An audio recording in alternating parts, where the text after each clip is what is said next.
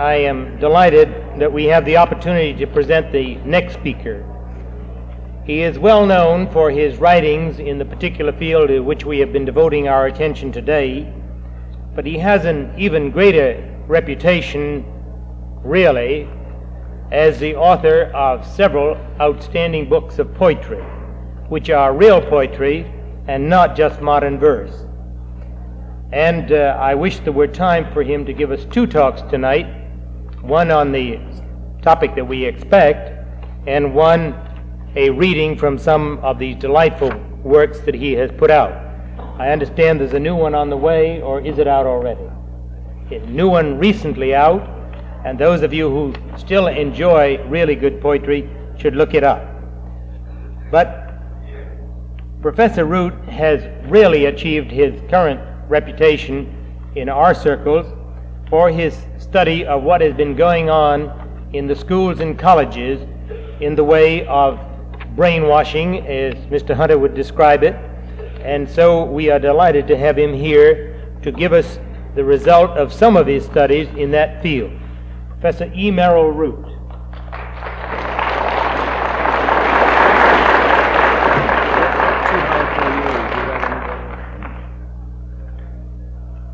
Colonel Bunker, ladies and gentlemen, fellow Americans, fellow picketees.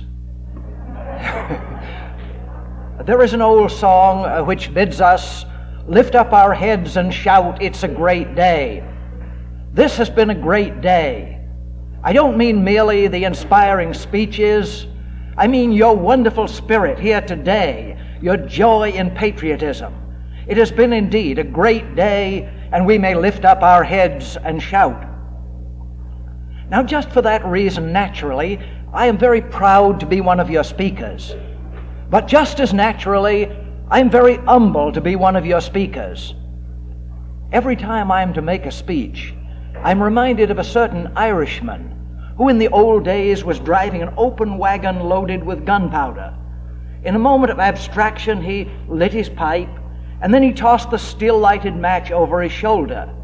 And as he went upward in the resulting chaos, they heard him exclaim, Sure, and I always knew I could rise to the occasion. But then he added, What worries me is how I'll feel when I come down. Uh, and it worries me how I'll feel when I sit down. Let me hasten to assure you, however, that I am not really worried about how I'll feel when I sit down. And that is not because of me, it's because of you. Uh, you have been through schools and colleges, and yet somehow you've escaped. Uh, I, I think you might be.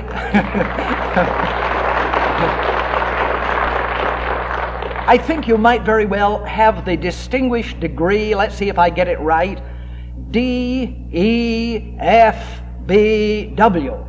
That means you are doctors of escape from brainwashing. and that, that is a, a distinction. Now, even in this day of what I would call liberal insanity and collectivist slavery, you dare to believe in sanity and freedom.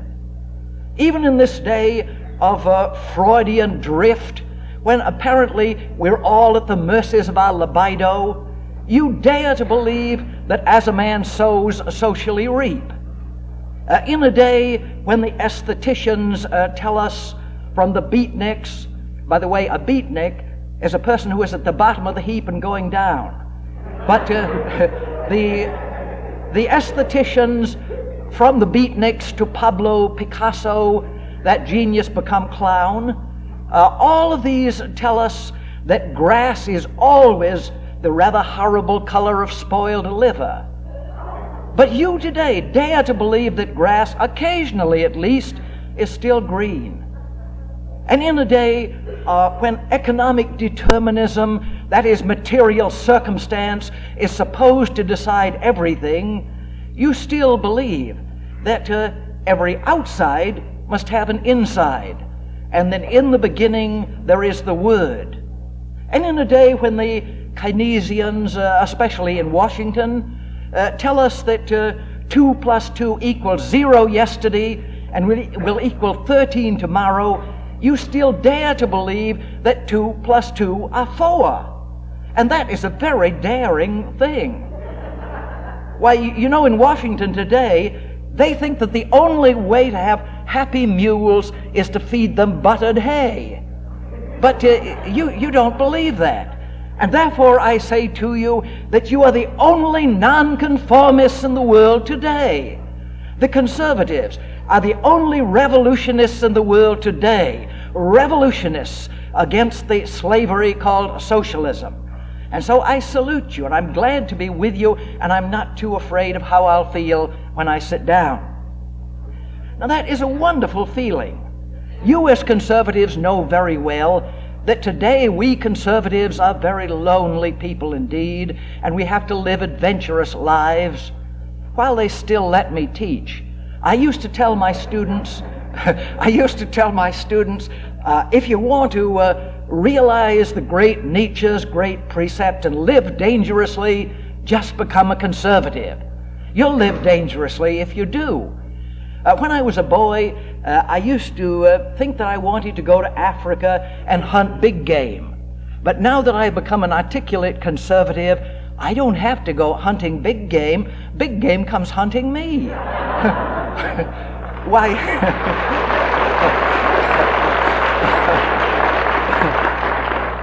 the uh, man eating lions, the hyenas, the uh, Cape buffaloes, the rhinoceroses, they come sniff, sniff, sniffing at my door. Uh, fee, fee, fi, fo, fum, I smell the blood of a conservative. uh, for the last uh, two decades at least, uh, I felt very much like a lonelier Daniel in a den of fiercer lions. But tonight, uh, after your uh, gracious invitation and your generous presence, I feel like a lion, of course, a very small one, in a den of friendly Daniels. And that is a very pleasant feeling uh, indeed. Now, with that introduction, I come to my subject this evening, which is the relation of education, our schools, our colleges, our textbooks, and our teaching, to the debacle of the American mind the debacle, the intellectual and spiritual debacle uh, of the American mind. One might say that my subject is the danger not of atomic fission, but of academic fission. Uh, ours is the danger, indeed, not of nuclear fallout, but of scholastic fall down. And that is the subject uh, that I wish to discuss with you this evening. But before I do that, uh, I have to suggest what is the great danger to America, to our uh, United States of America, to our constitutional republic, and to sanity and freedom in the world? What is our greatest danger today? Now, today, under the shadow of the hydrogen bomb, many excellent, honest, well meaning, but uh, peculiarly naive or ignorant Americans believe that our only danger or our chief danger lies uh, in the gimmicks and the gadgets of material war. They think our great danger is outward military attack. Now, I wouldn't for a moment deny that that is a danger. We face today the dirtiest fighters that the world has ever known. They are the people who say they would liquidate their class enemies. Liquidate. How suave and gracious a word. It sounds liquid. Uh, it sounds as if uh, it would flow and glow. Uh, it sounds as harmless as pouring honey on the pages of a telephone directory. But what do they mean when they say liquidate? They mean to place the muzzle of a high power pistol behind the right ear. They never shoot you through the left ear. Uh, behind the, the right ear and squeeze the trigger and blow the gray brain plasm out through the shattered skull.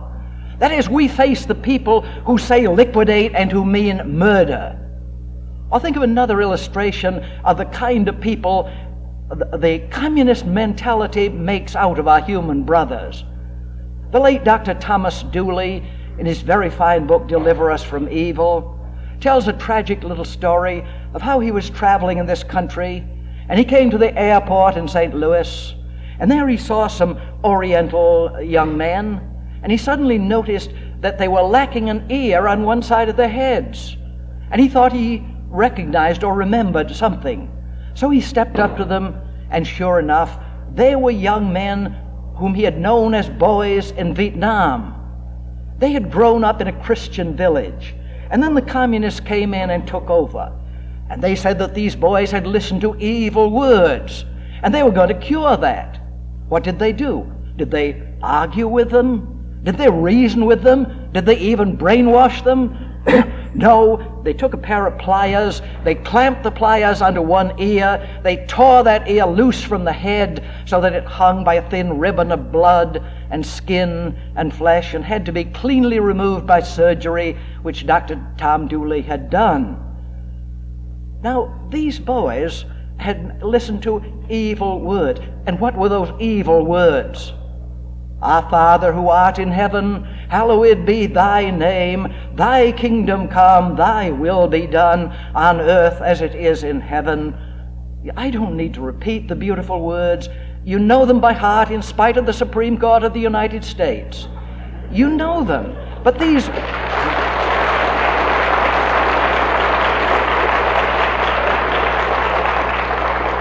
These were evil words. And to cure uh, the boys of hearing these evil words, they, the communists tore an ear off. Well, that's the kind of person we face. Not only chicanery, but skullduggery, mayhem, murder, any kind of force is liable to be used. And therefore, we must be on our guard, our defenses must be firm, our retaliatory power must be sure. But having said that, let me hasten to add, with all the high seriousness at my command, that that is not our only danger, nor, I believe, our chief danger. Our chief danger lies not in outward military attack, but in inward cultural subversion. When in Czechoslovakia, Beneš had finally to take that wincing leap from the high window, what was the reason? It wasn't merely because the communists at last had come in with military power. It was because the soul of Czechoslovakia had been betrayed and the mind of Czechoslovakia had been destroyed. Any military man will tell you that while weapons, the latest and the best, are highly important, the question of morale is much more important still. The will to fight, that is what turns good soldiers into great soldiers. Faith, hope, and love the consecration to a great cause, the motivation of a high morale. These are the things that make really great soldiers. And at what do our enemies aim? They aim at our faith, our hope, and our love. They would destroy our faith in America, our love of America, our hope for America. They would destroy our patriotism. They would destroy our values, our sense of quality, meaning, and value. They would reduce us to passivism and nihilism until, like that uh, unfortunate young GI who went on a safari of murder and finally was captured, uh, they found tattooed on his breast, I hate life. Now that's what the communists would do to us. They would make us hate life. They would destroy in us all sense of quality, meaning, and value. And if they do that, they destroy the city of man's soul, and they can easily take the city of man's body. Speaking about practical matters, lately in Cuba, uh, under that uh, human mistake and hairy monstrosity uh, known as Fidel Castro, uh, uh, uh, we, we were in danger, physical danger. We knew that he had, as I think he still has, some missiles that uh, might destroy our eastern cities. And we thought that was dreadful, and we uh, acted to remove them. I hope we removed them. I, I, rather doubt it, but at least we tried to, and uh, or thought we did. But what was the real difficulty and the real danger? It wasn't those missiles in Cuba, it was that monster in Cuba. As long as you have a communist in Cuba, as long as you have Fidel Castro and Che Guevara and Raul Castro, and beyond, behind them the horrible ideology of communism, you'll have missiles or worse than missiles. And how did that happen? It was because We were sold a bill of goods. It is because, it is because our minds were confused, our spirits, our resolute wills were dimmed. It was because a man named Herbert Matthews, writing in the New York Times, which fortunately is speechless uh, at the present time.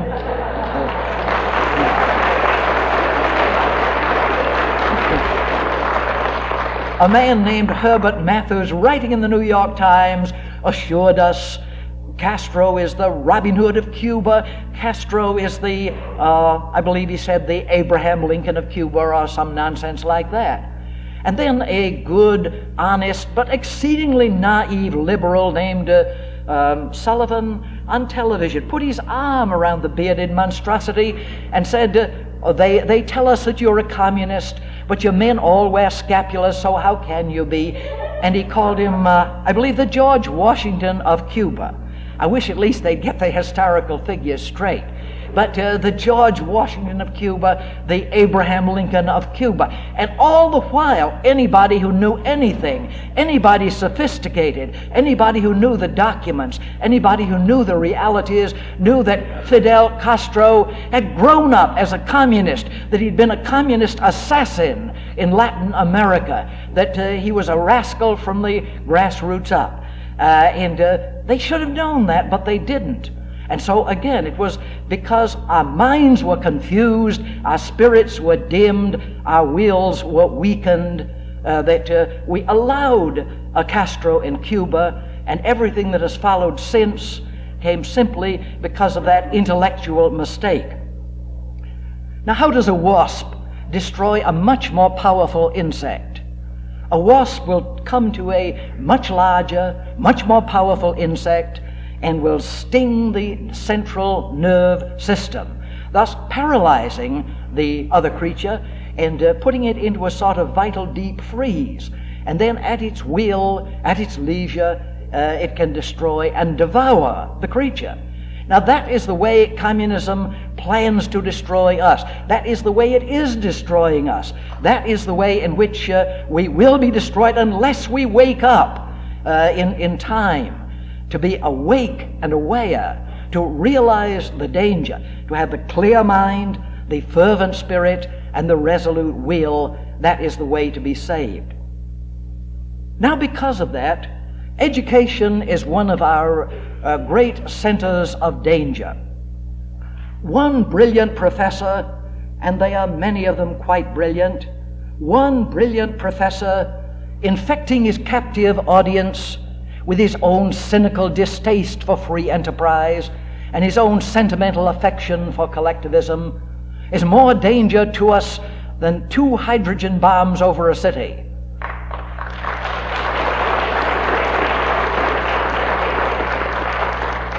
One dull textbook, and believe me, I've studied them, and they're fearfully dull.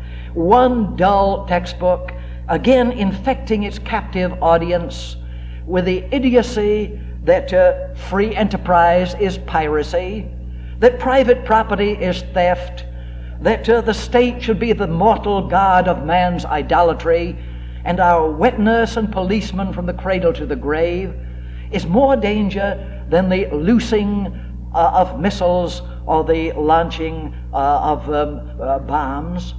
Our real danger lies there in the realm of the mind. That is so true that the Army's greatest expert on psychological warfare um, has uh, told us in a famous interview in U.S. News and World Report that our, our real uh, war today is not a war uh, of, uh, of weapons, uh, but rather a war of ideas. And he says, I quote, this uh, renders military weapons, if not obsolete, uh, at least needless, he means for the time being, at least needless because we are fighting a war of ideas. And today, the real hot war is the Cold War. The Cold War is the really hot war. We are fighting today a war not of bullets but of brains, not of missiles but of minds, not of space but of spirit, not of weapons but of wills. And if we win that war, I personally don't believe we'll ever have to fight a shooting war. But unless we win it, unless we win it, we will lose something more uh, than war. We will lose our souls in slavery. Now, let me show some ways in which education is working to uh, pervert our minds, to confuse our minds, to dim our spirits, uh, to hypnotize our wills. Just recently, I think it was about a year ago, in the town of Reading, Connecticut, there was a high school senior, I believe her name was Virginia Olson, and she wrote uh, an essay for the uh, uh, high school paper in which she said this, and I quote exactly, she said, To be a good, patriotic American is to be a blindly stupid individual. Let me repeat that. To be a good, patriotic American is to be a blindly stupid individual. Now, she wrote that in the town of Reading, Connecticut. And near that, uh, in the gallant years of the American Revolution, Connecticut's greatest son, Israel Putnam, kept alive the hopes and fears of Connecticut in the winter camps that we may call the Valley Forge of Connecticut, in the hills of Reading, with his gallant spirit, his noble will, his resolute courage. In the winter and the blizzards, he kept alive not only the hearth fires, but the heart fires of Connecticut. And now in Reading, this little uh, unsophisticated, sophistic- sophisticated, uh, writes that to be uh, a good patriotic American is to be a blindly stupid individual. I wonder what she knows about the heritage of America. Does she not know the greatness of our literary figures? A Herman Melville, a Walt Whitman, a Ralph Waldo Emerson, a Henry David Thoreau. Does she not know all these figures and the great heritage and the great tradition?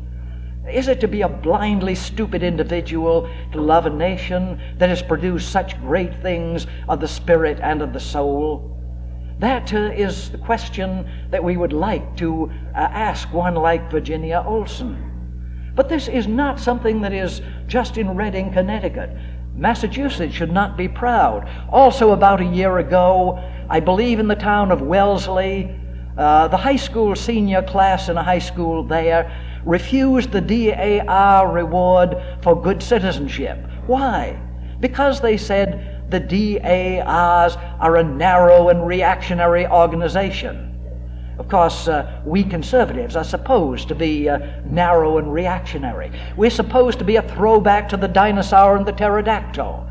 We are supposed to be uh, a sort of moss covered bucket hanging in a well that has long since gone dry, while all the public water supplies are hideously fluoridated.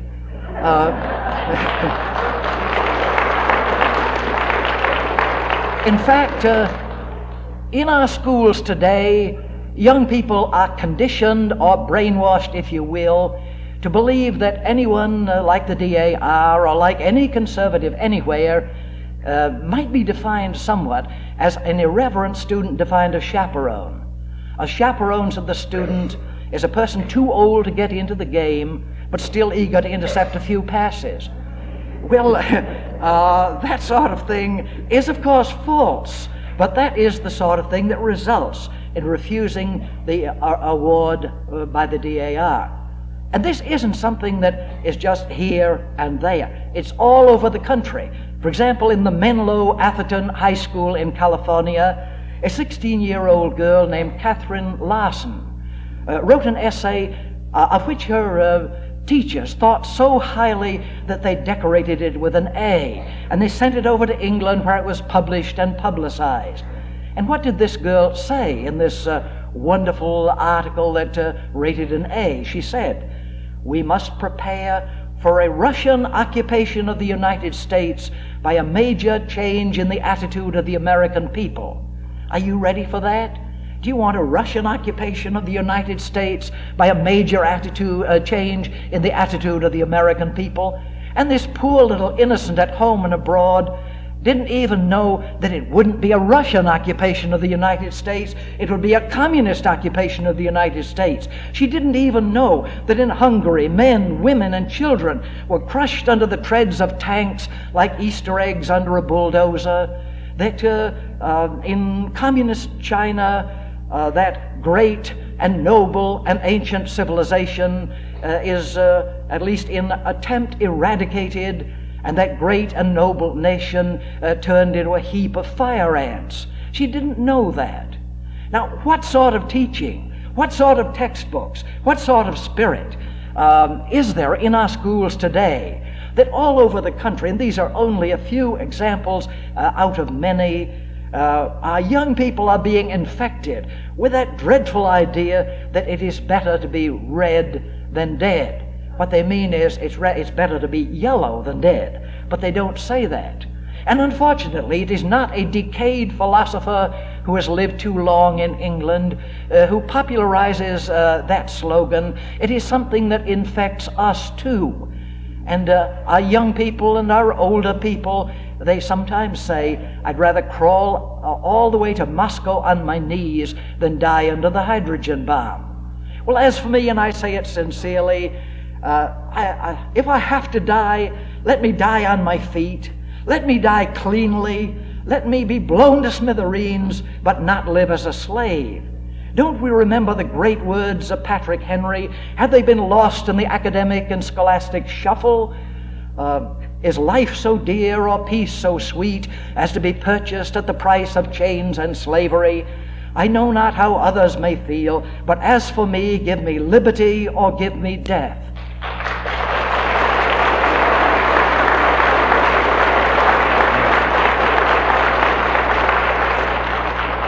That is the way America once spoke, and pray God she will so speak again. But that is the sort of thing that happens. Or in our textbooks. In my brainwashing in the high school, uh, I make a thorough study, absolutely documented, of 11 major texts used in high schools all over the United States.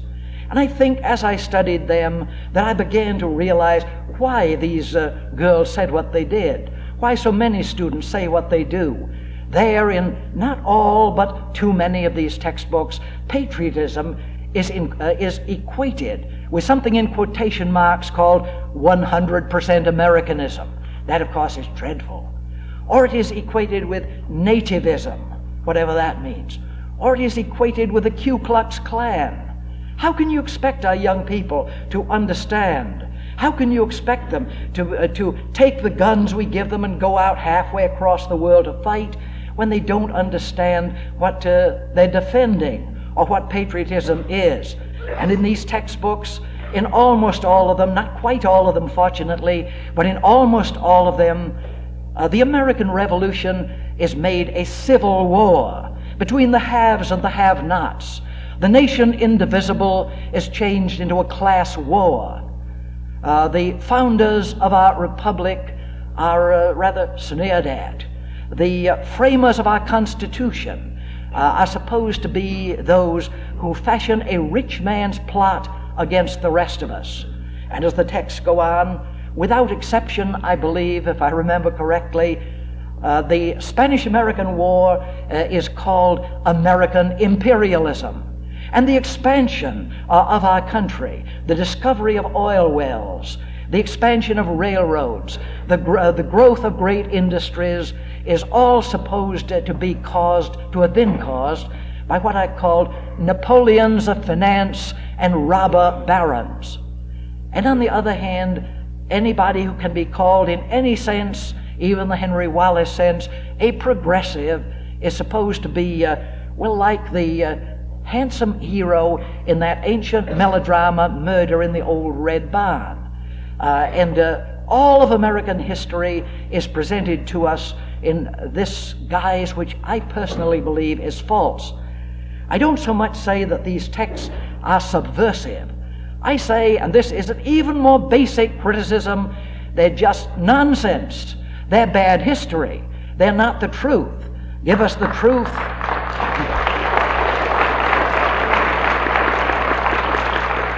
Give us the truth, and the truth will make us free.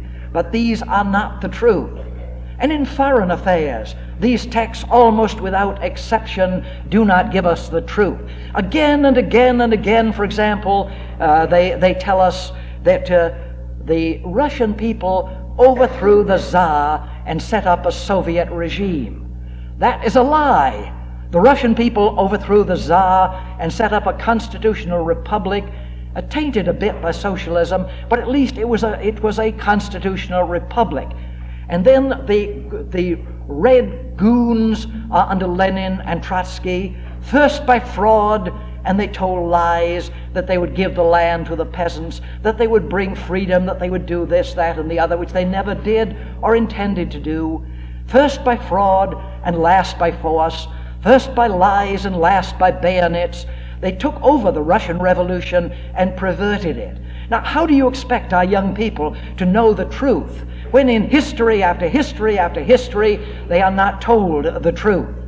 Or in the relation of the Nazis and the communists, the dice are loaded. There's a double standard. Now, uh, I called uh, uh, Mussolini a good gorilla when a lot of Americans uh, who should have known better uh, were saying that he was good because he made the trains run on time. So I can talk about this. I was against Mussolini and I was against Hitler, and I'm against uh, equally the communist uh, dictatorship. Now, the Nazis and the communists are simply rival gangsters. Their su- supposed hostility is only a greed for power, only the hostility of different gangsters. But that is never made clear in these history texts. In text after text, uh, for example, about uh, the division of Poland, we are told that uh, Hitler's stormtroopers blasted into Poland and the Soviet troops occupied uh, eastern Poland, uh, blasted in and occupied. Uh, th- there's a double standard. The truth is not told. And again and again and again in foreign affairs, the truth is not told. Or think in our schools of these horrible questionnaires, these horrible psychological tests that are given. Maybe as parents you don't know about that because they don't want you to know about it. They'll tell the children not to tell the parents. Uh, you'll find it very difficult to get the text of these uh, questionnaires and these tests. But they exist and they, they're supposed to be in the interests of mental health. But they are guaranteed to make any healthy child psychologically or spiritually sick. For example, uh, uh, let me just uh, read uh, some of these questions that are given as uh, in questionnaires, that are given in psychological tests. Uh, here, here are some. this, these questions are to be answered by a flat yes or no and they were given in some of the greatest schools in the state of California. The world would be better off if science replaced religion as the guiding principle of men's lives. God answers prayers by actually intervening in people's lives. Christ was born of a virgin, as the New Testament says. After death, men will be judged by God for the way he lived on earth. The world would be better off without religion because it is based on superstition. Although there may be a God who created the world, man has no moral obligation to him, and God is not capitalized. There is no apparent ex- uh, eternal purpose for man's existence in the universe. Now, what sense to ask uh, children questions like that and suppose they would give a flat yes or no to them? Or questions like these Man has no soul or spirit. He is just a superior animal with nothing but a physical body, yes or no. Values are all relative. There are no absolute standards of right or wrong, yes or no. Religion is merely a crutch which insecure people rely on, yes or no. Or here a questionnaire entitled The Measurement of Human Wants, given at the Ganesha High School in Pomona, California. How much money would you want to A. spit on a crucifix, B. eat a pound of human flesh, C. desecrate a church service? Now, what degeneracy uh, can even uh, give questions like those? Uh, how, how can you answer questions like that? How much money would you take to chop your little brother's head off with an axe? How much money would you take uh, to uh, uh, take a shotgun and shoot your mother? Uh, they would be just as sensible questions. How much money do you want to spit on a crucifix? How much money do you want to desecrate a church service? And this is supposed to be uh, for mental health. And our Department of uh, Education and Welfare sponsors that sort of thing. They are encouraged by the government, that sort of uh, questionnaire. And then, of course, uh, I won't get into the full question of so called progressive education.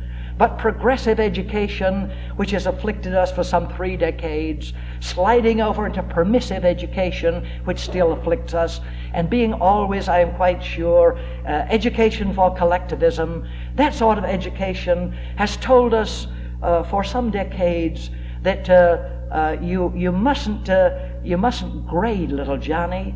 If you grade Johnny, you'll bruise his tender little psyche and he'll shoot his grandmother. now, you can't, uh, you can't open a daily paper, but what you see of some ungodly little tyke shooting his grandmother. But I'm sure he wasn't graded too harshly. Why, not too long ago, uh, I read of a, a little horror who shot his grandmother because she courteously asked him to mow the lawn.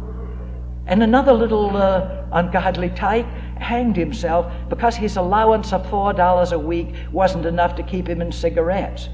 Well, that sort of thing is permissive education, if you will. It is the coddling of the so called tender little psyche without any discipline whatsoever, any standards whatsoever, any quality, meaning, or value in our education.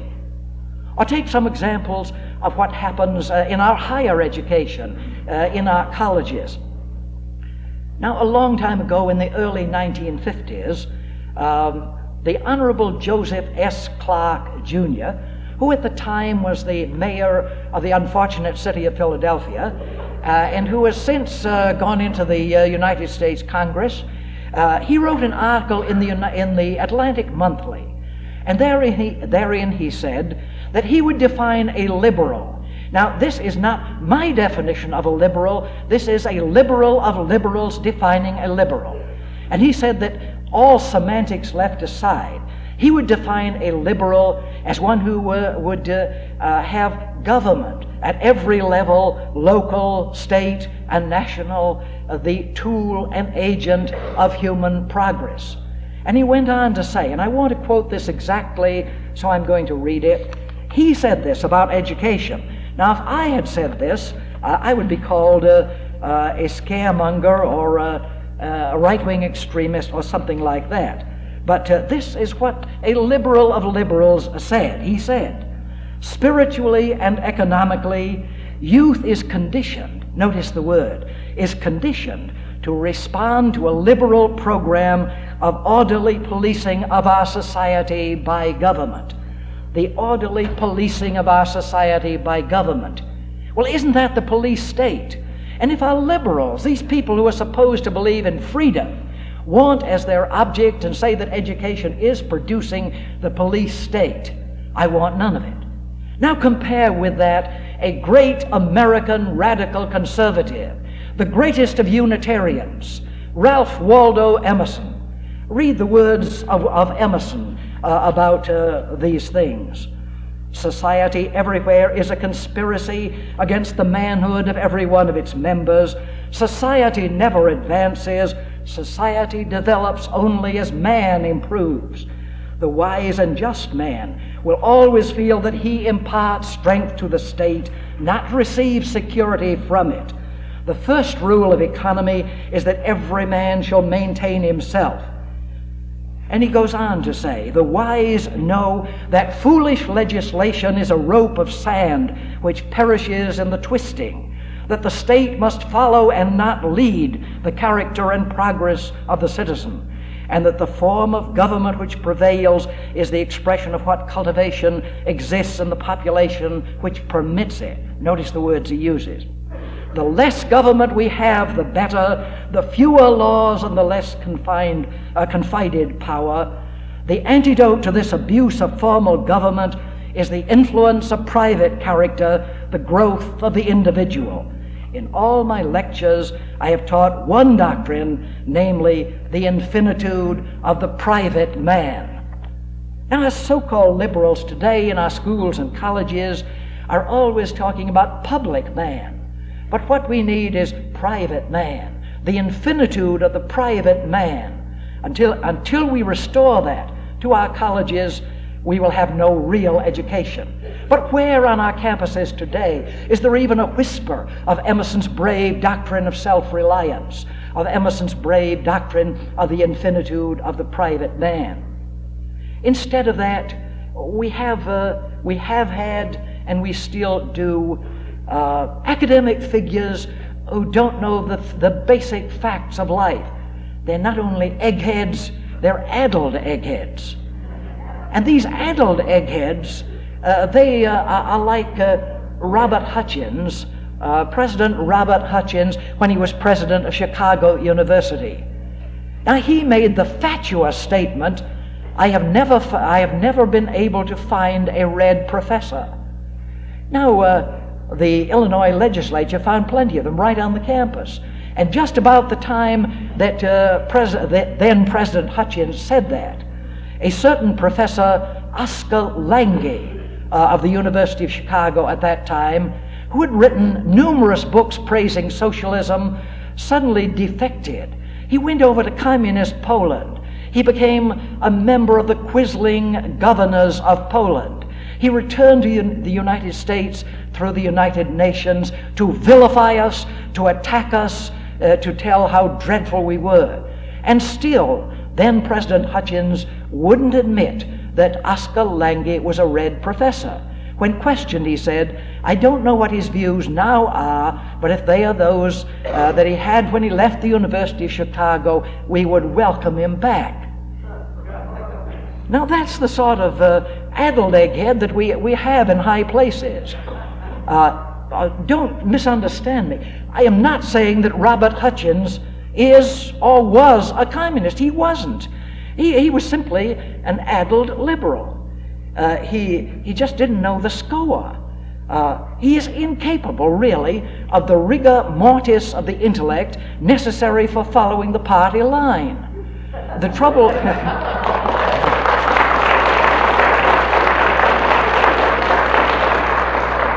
the trouble with Robert Hutchins then and always has been that his theme song is I'm Forever Chasing Bubbles. Uh, he, he reminds me very much of a bottle of ginger ale when you shake it too vigorously and pop the cork too quickly. It's all in the fizz. Uh, he's, he's that sort of liberal. And then there's another sort of liberal. Uh, unfortunately, uh, he's from Boston. He's from Harvard. Uh, Professor, now emeritus, Kirtley F. Mather. Now, uh, Professor Mather, in 1951, uh, made a speech uh, here at the Community Church in Boston.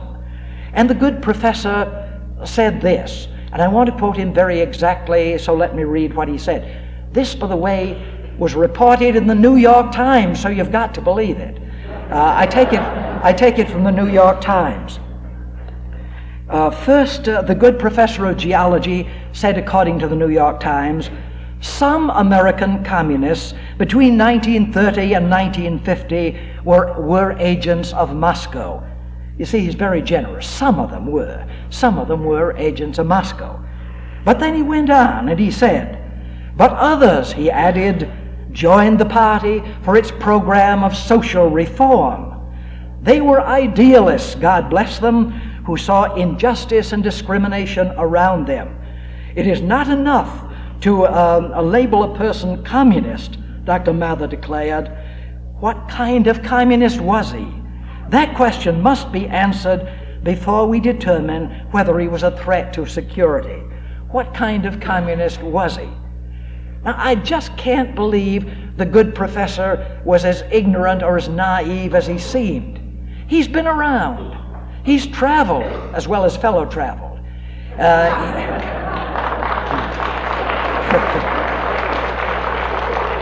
he, he is hep. Uh, he, he knows better than that. Why, uh, he must know that uh, you don't sneeze if you're a communist unless the party tells you you can. He must know that you don't send roses to your wife on your wedding anniversary unless it's cleared with the ninth floor. Uh, he must know that uh, uh, you might just as well talk about gentlemanly members of the mafia and rascally members of the mafia as to talk about good communists and bad communists. I can't help believing that the professor was, uh, well, I don't know whether to say talking through his hat or talking through his beret. Uh, but uh, he was talking through something. But that's the sort of person that we have had, and that unfortunately we still do have in education. And to the last of my knowledge, Professor Mather was reviewing books for the little Phi Beta Kappa magazine. Uh, that, that's uh, the, honor that they gave him. Uh, and yet, he says, he talks about the communists, and he says, God bless them. Now, that uh, is not something that belongs to the past, most unfortunately. It does not belong to the past. Just recently, almost from border to border and almost from coast to coast, colleges and universities have opened their doors and their forums to leaders in the Communist Party, men who have been publicly declared enemies of the United States of America and who, even worse than that for the academic life, are enemies of truth, of freedom, and of reality. But at Gus Hall, uh, other leaders of the Communist Party, they are welcomed in. Why? Because we must hear both sides. I wonder how many of these same colleges and these same universities invite Robert Welch uh, to address them uh, so that they may hear both sides. Don't they know? Haven't they read the books now? Are they unaware of the facts of life? Have they been living in a mid Victorian hush hush? Don't they know books like uh, The God That Failed, like Darkness at Noon, like The Yogi and the Commissar, like uh, Animal Farm in 1984? Don't they know that the communist conspiracy, as George Orwell described it, is simply this? George Orwell, who in his conscious mind to the very end oddly remained, he thought, a socialist, was so wonderfully full of genius that in his unconscious or subconscious mind he told the truth. And in Animal Farm and in 1984, he gives us that truth in beautiful literature. And in 1984, toward the end, uh, Big Brother tells poor uh, Winston Smith this sad fact. He said, Would you see the future it is a boot trampling forever on the human face. Now, communism has never better been described than that a boot trampling forever on the human face. And if our colleges and if our universities do not know today that uh, it is a boot trampling forever on the human face, then they are not intellectual, they are not spiritual, they are not academic, and they do not tell us the truth that shall make us free. They do that, and they do other things too.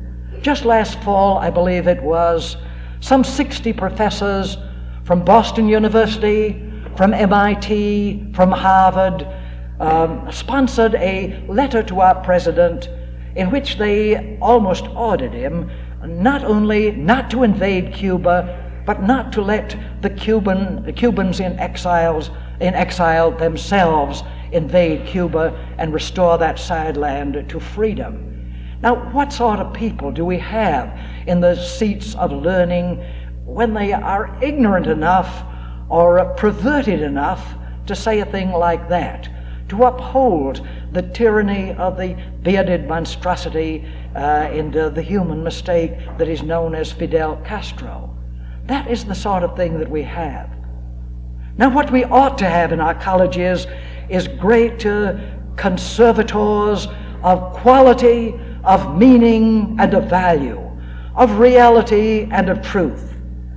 We all know what the conservationist is in the outer world. The conservationist is one who would preserve our wildflowers and our wild creatures against extermination. He would pres- preserve or conserve the purity of our waters against taint and contamination. He would conserve our good earth and its fertility against erosion and depletion. And most of all, perhaps, he would conserve our forests that are lovely, dark, and deep against the axe of the too enthusiastic lumberman. Now, our colleges should be the conservation department of the inner life, of quality, meaning, and value. Our colleges should defend and conserve individual freedoms, those shy wild flowers, those shy wild creatures. They should be the first to defend the good, humble Amish people uh, who will not pay security, uh, the um, uh, social security tax because they don't believe it.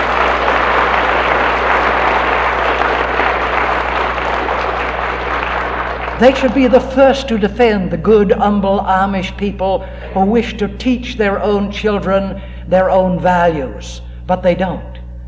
And then they, they should uh, conserve the waters of truth against taint and contamination by those uh, to whom truth is simply the most convenient lie, and right is simply the most expedient wrong, and art is merely propaganda, and uh, philosophy is merely ideology. But they don't. They should conserve the good earth of reality, of our political reality, and our economic reality, and our uh, philosophical reality against those who would erode and who would destroy. They should most of all, perhaps, defend and conserve uh, the spirit of wonder, of beauty, of holiness, of, of God and eternity. Uh, those forests that are lovely, dark, and deep, against the greatest lumbering expedition in all history that would reduce all these beautiful things to sawdust and the desert. But they don't. The tragedy of education today is that those uh, who should educate us do not know what education is. The great Plato long ago said that true education is to turn the eye of the soul toward light. But today, those in our educational institutions uh, turn the eye of the soul toward darkness. They bring about darkness at noon. And what we need is a renaissance of the scholastic life, a renaissance of the academic life, in which once more, in the words of the great Plato, we shall indeed turn the eye of the soul toward light.